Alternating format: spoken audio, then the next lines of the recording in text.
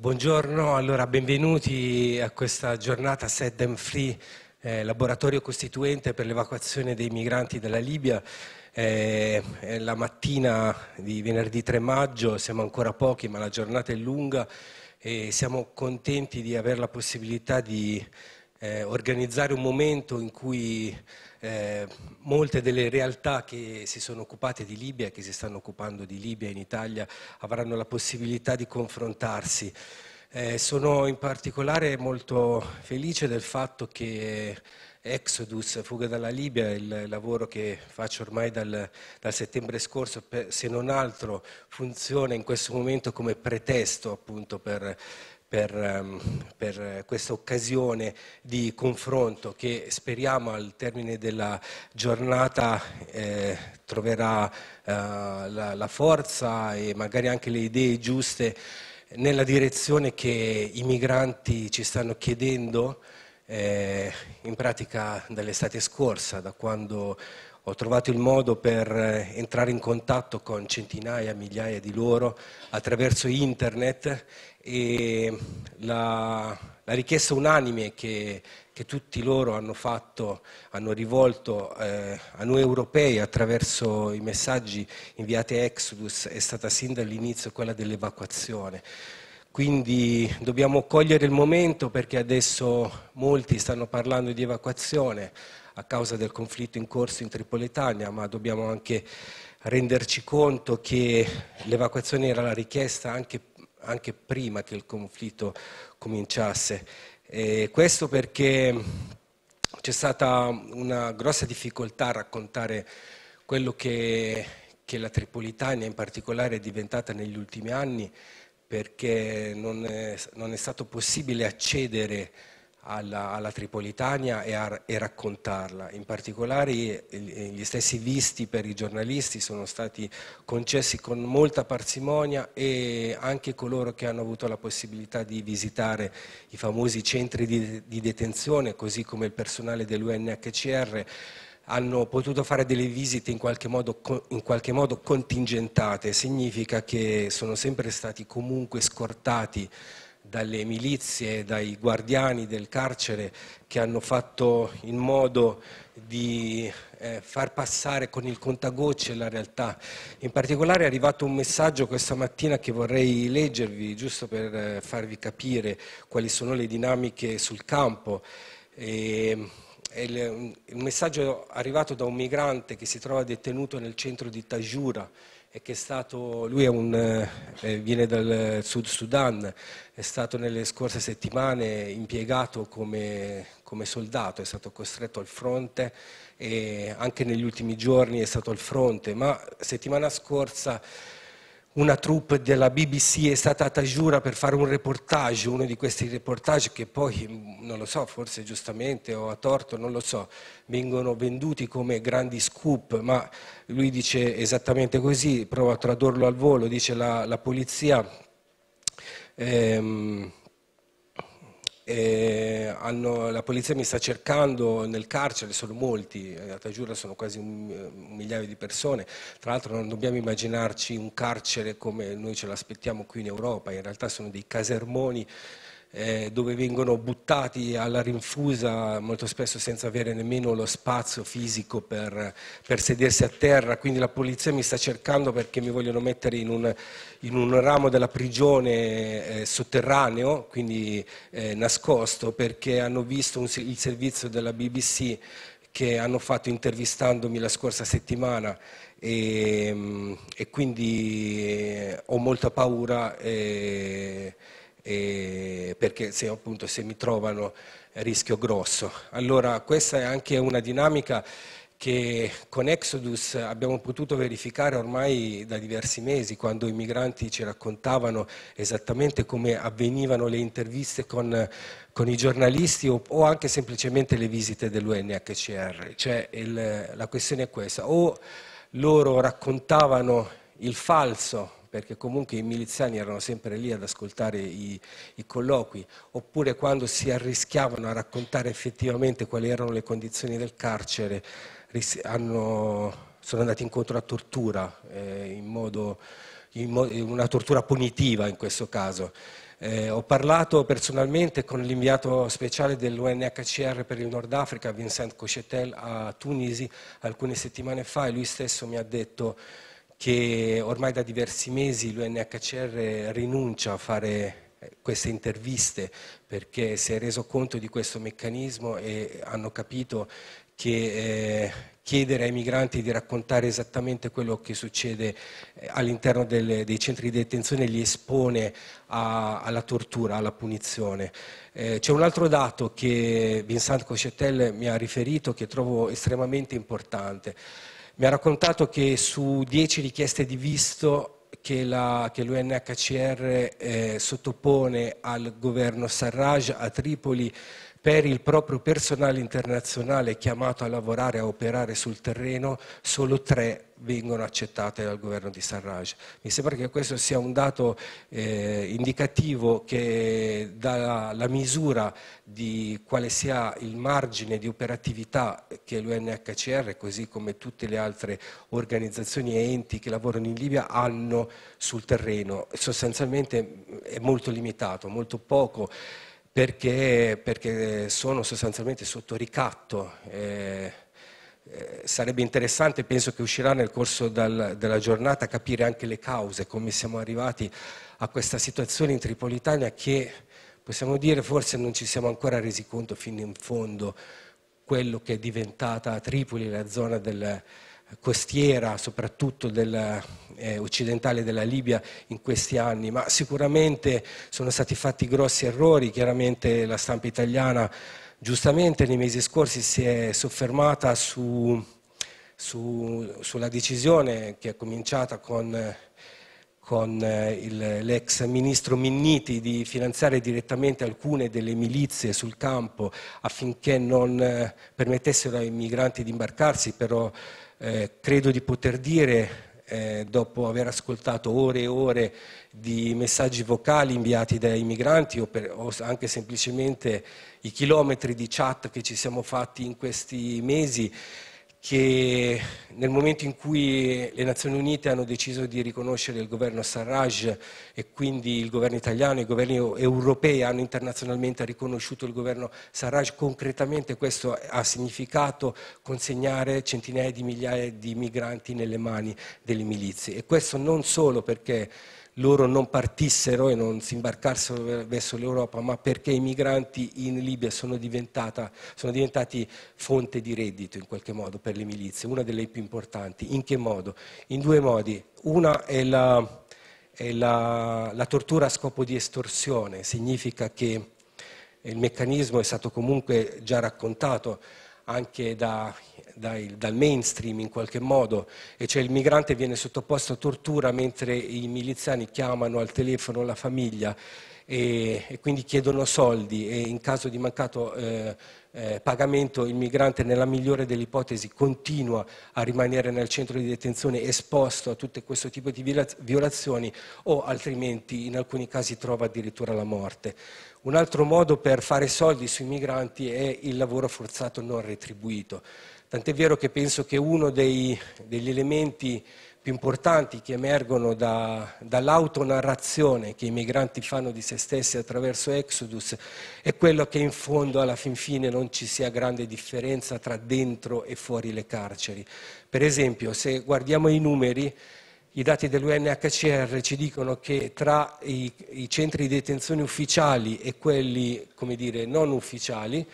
eh, i numeri delle, dei migranti attualmente in stato di detenzione sarebbe, sarebbero intorno ai 20.000. La stessa UNHCR ci dice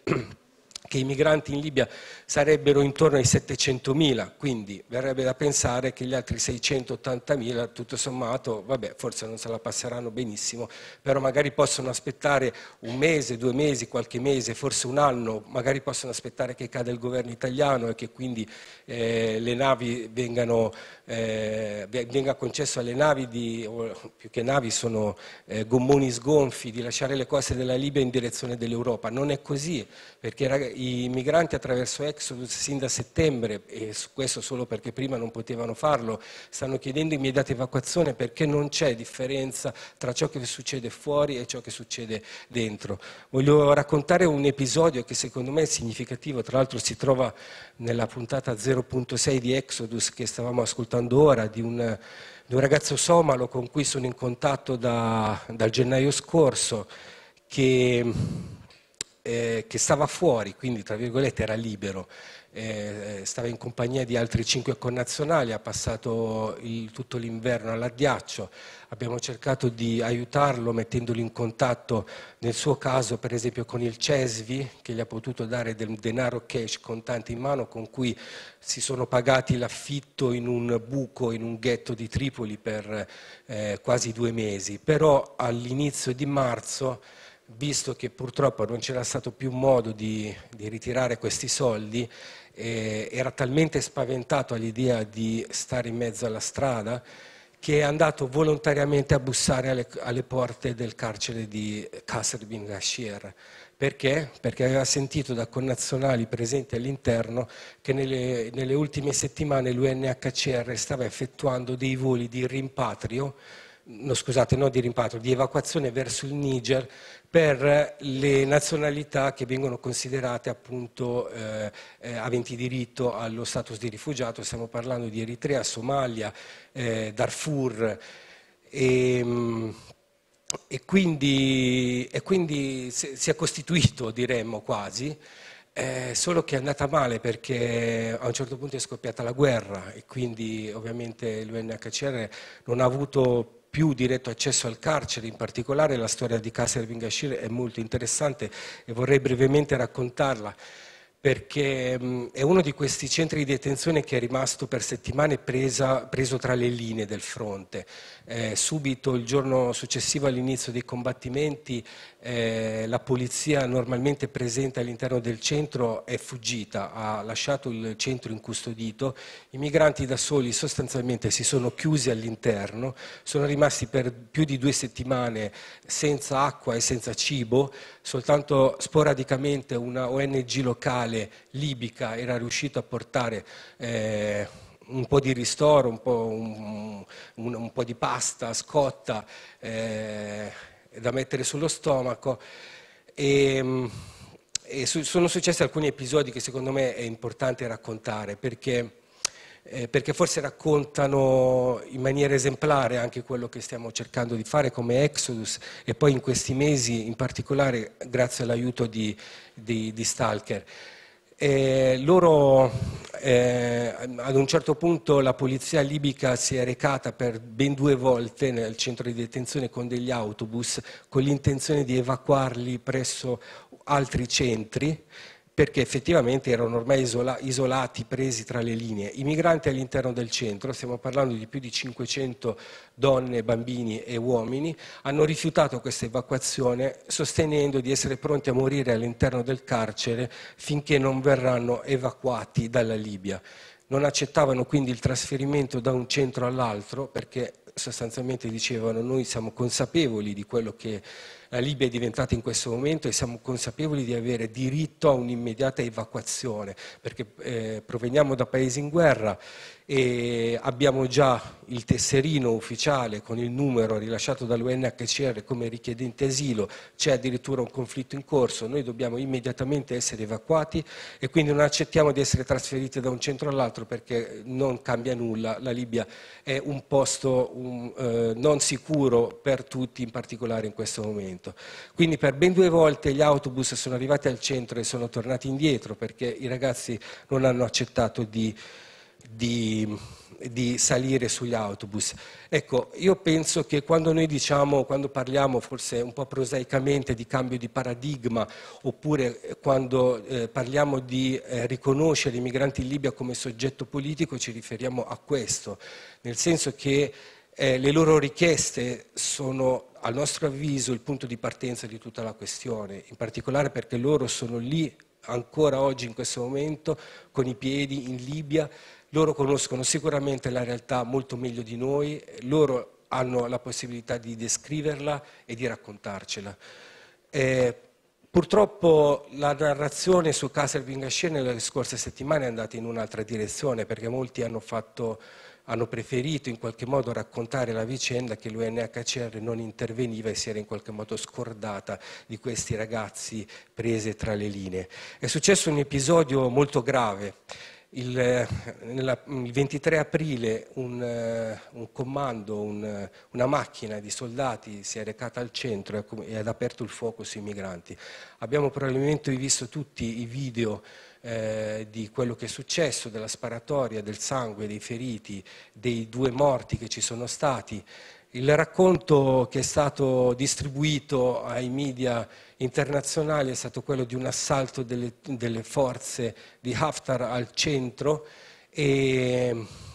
e, quindi il giorno successivo, il 24 aprile, la polizia si è di nuovo recata al centro di Kasservingaci con gli autobus e questa volta sono riusciti a, a scusate, a trasferire, uso il linguaggio che usano loro in inglese, a trasferire i migranti in un altro centro. E quindi tutto a posto, tra virgolette, due morti, più di 20 feriti per arma da fuoco, però perlomeno sono stati messi in salvo. In realtà tutto il contrario, perché ci siamo accorti, grazie alle testimonianze dei migranti stessi, che i soldati che hanno fatto questa operazione, questa sparatoria, Innanzitutto non erano forze, ma era solo una macchina. Sono arrivati al centro eh, chiedendo soldi e cellulari, i migranti si sono rifiutati, questi hanno aperto il fuoco. Probabilmente erano banditi comuni, probabilmente appartenenti a una brigata, quella di Tarhuna, che in questo momento sta facendo un doppio gioco, sta un po' con Sarraj, un po' con Haftar. E guarda caso il giorno dopo è partita l'evacuazione, perché dopo quasi tre settimane senza cibo e acqua, e di fronte a un, un, episodio così violento i migranti hanno ceduto il loro fronte diciamo, di fermezza e sono stati convinti a salire su questi autobus e trasferiti in un altro centro. Però eh, bisogna raccontare anche la seconda parte di questa storia, perché dove sono stati trasferiti? Sono stati trasferiti a Zawiya, nel centro di detenzione di Osama, che è uno dei più grandi criminali presenti in Tripolitania in questo momento, uno che gestisce in maniera del tutto privata il suo centro di detenzione ed è famosissimo per, per andare con una sua nave privata che non è nemmeno in qualche modo arruolata all'interno della cosiddetta Guardia Costiera Libica, a eh, recuperare i migranti in mezzo al mare, anzi a rapire, a sequestrare i migranti eh, dal mare e portarli sua, al suo centro di detenzione dove vengono sottoposti a tortura a scopo di estorsione e infine venduti. Quindi lui fa i soldi in questo modo. Ora io ho parlato con l'UNHCR in Tripoli e ho chiesto ma siete stati voi a coordinare questo trasferimento? Loro hanno detto no questa è stata una decisione del governo Sarraj, ci hanno avvisati all'ultimo momento, siamo arrivati lì di corsa con il personale libico dell'UNHCR ovviamente e abbiamo accompagnato, giusto un attimo, questi ragazzi al centro di Zawiya. Eh, Kasser Vingashir si trova a sud di Tripoli, Zawiya si trova sul mare. Eh, Ovviamente i ragazzi già mi stanno raccontando e vediamo se riusciamo a collegarci direttamente con uno, uno di loro che già vengono trattati malissimo all'interno del carcere. Osama ha interloquito con loro, li ha minacciati, gli ha detto voi siete proprietà mia, quindi sarete presto venduti. Eh, L'UNHCR aveva cercato di mm, strappare la promessa di avere la possibilità di accedere al centro di detenzione quotidianamente, ma questo già non sta avvenendo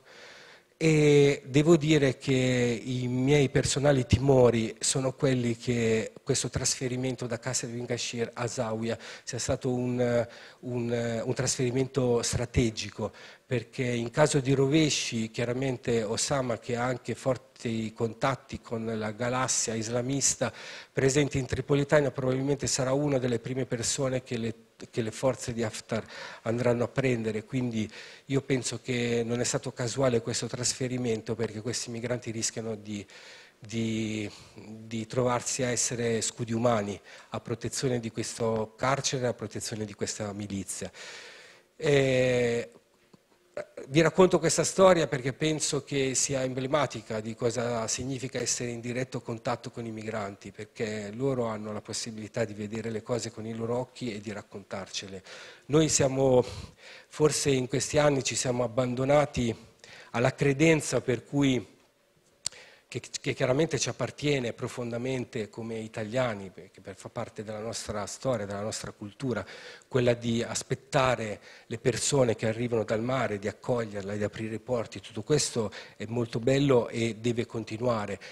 però ehm, è successo qualcosa in Tripolitania, penso, anzi sono convinto che ne parleremo diffusamente oggi, c'è stato un salto di qualità, ecco perché i migranti non, eh, non, non si sono limitati in questi mesi a chiedermi porti aperti, ma eh, letteralmente hanno chiesto che noi li andassimo a prendere, perché altrimenti non avevano possibilità di mettersi in salvo. E, niente, abbiamo cominciato anche con un po' di ritardo, Ora vedo se c'è possibilità di, di collegarmi ehm, telefonicamente, ma vedo che il messaggio che ho mandato via Whatsapp non è arrivato, quindi probabilmente o il telefono è spento o forse non c'è campo. No, io ce l'ho campo. Sì, sì. Come? No, no, no, non c'è campo là, dico. No, no comunque l'ho mandato anche prima che stavo fuori, quindi proprio non è arrivato. Eh, abbiamo già sentito alcune testimonianze, comunque Exodus eh, si trova eh, è disponibile online su una pagina dedicata di Vimeo, ci sono sette puntate eh, tra, tra, i 40 minuti e l'ora e come dicevo sono messaggi vocali, in questo caso era una telefonata, però di solito eh, sono messaggi vocali che io chiedo a loro di mandarli anche perché molto spesso eh, non, è, non, è, che possano sempre essere disponibili al telefono, quindi possono scegliere con i loro tempi quando registrare il messaggio, quando inviarlo e anche quali sono le loro priorità e quello di cui vogliono parlare. Ehm, vediamo, temporeggio ancora un attimo.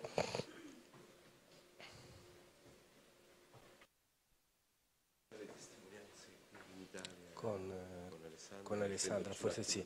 Allora, nel frattempo che mm, eh, la, insomma, la giornata è molto lunga, ci sono molti ospiti, sicuramente ci saranno degli imprevisti, però eh, in conclusione, come anche un po' accennato all'inizio, noi pensiamo che l'obiettivo di questa giornata sia innanzitutto eh, confrontarci con, eh, con, tutti coloro che si sono occupati di Libia in, in quest'ultimo anno, in questi ultimi anni qui in Italia e soprattutto eh, in qualche modo con quello che abbiamo a disposizione a oggi fare una sintesi e cercare di eh, lanciare un messaggio chiaro a chi in questo momento può eh,